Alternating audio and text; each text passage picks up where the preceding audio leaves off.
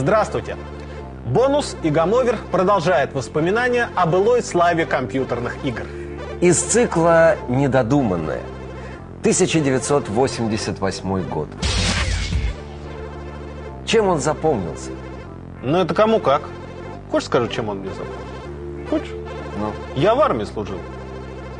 В войсках, прошу прощения, противовоздушной обороны. И по странному стечению обстоятельств, самой интересной игрой 88-го стал летный симулятор F-19 Stealth Fighter. можно сказать, что именно эта программа окончательно сформировала симуляторы как жанр. Здесь впервые был использован трехмерный графический движок. Ну, если вы понимаете, о чем я. Программисты и художники добились неслыханно правдоподобной, ну, по тому времени, картинки. Они еще кое в чем опередили свое время. Самолет-невидимка тогда только разрабатывался и считался совершенно секретным. Принято думать, что именно поэтому стелс из игры сильно отличается от реальной машины. Но мы-то подозреваем, что все было иначе. Разработчики где-то раздобыли секретные чертежи. После выхода игры в Пентагоне разгорелся грандиозный скандал. Что?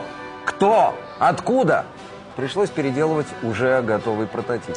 Потому что ПВО уже научились бороться с невидимками благодаря F-19 Stealth Fighter.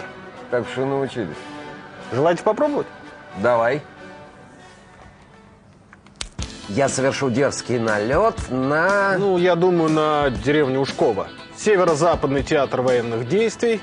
Мы туда в самоволку ходили, поэтому объект прикрывается усиленными дивизионами ПВО. Так, ладно. Самолет-невидимка F-19 взлетает. Последний раз. Руки-то помнят. Высота 6000, курс 1218. А нас полковник Попов поднимает по тревоге ВЧ 03216. Ух, я тебе.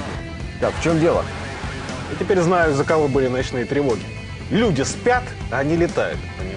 Так, захожу на цель. Я невидим. Фига! Видим прекрасно. Как раз в 88-м были расконсервированы ПВН, посты визуального наблюдения.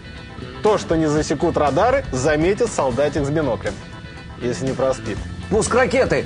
Да, 75-й комплекс. Что вы хотели? Попадание! А мне ничего. Как так?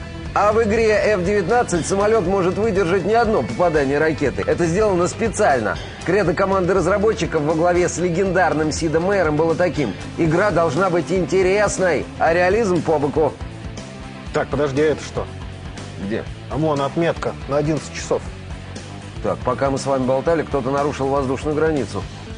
Это Сесна, 17-2Б. Снова Матиас Руст? Нет, это больше не повторится. Ты заходи со стороны солнца, а я вот отсюда. Давай, давай, меняй эшелон. Сейчас я... Хит-сикером, хит-сикером его. Левее, черт. Это низколетящая Да цель, медленная, медленная, высоту. патроны Давай, давай, давай.